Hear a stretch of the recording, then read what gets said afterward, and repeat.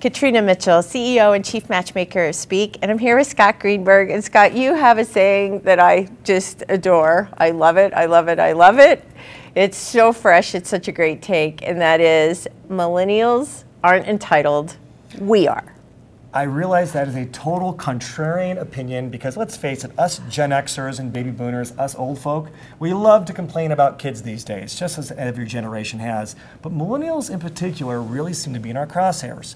People talk about they're not motivated, they're not loyal, and millennials are entitled. They're all entitled. As someone who has employed them for many years, I absolutely disagree. Millennials are not entitled. We are.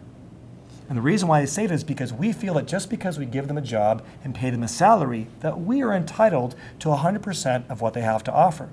But the truth is, as with all generations, as employers, it's our job to understand what motivates them. It's our job to know where they find intrinsic value.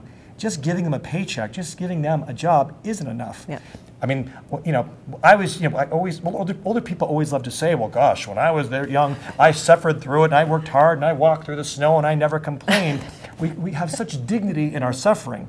And I think the millennials have said, you know what? I don't buy into that. It's a scam. Life is short. I'm willing to live at home with my parents.